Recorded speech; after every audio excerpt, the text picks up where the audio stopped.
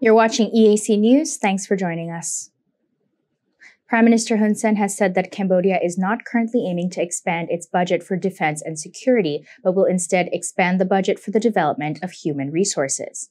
EAC News reporter Anthony Ellis has more.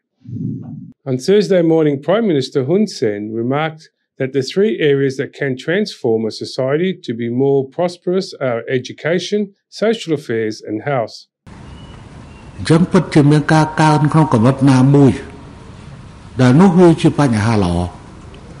Huy tệ tông là ca vì dụ ơn mà đu Ca phê chì vứt mà đu Ca phê chì vứt mà đu He stressed that 2023 national budget serves the people. The government plans to spend over 39 trillion riel in 2023, equivalent to more than 9.8 billion dollars, which is an increase of 13% compared to 2022 budget. More than $5.7 billion will be spent on civil servant salaries, and more than $4 billion will go into investment and debt repayment.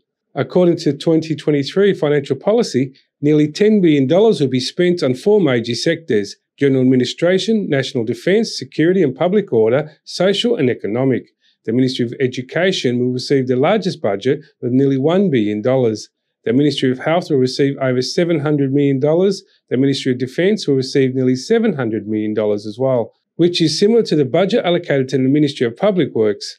The Ministry of Interior will receive over $560 million, and the Ministry of Social Affairs will receive more than $367 million.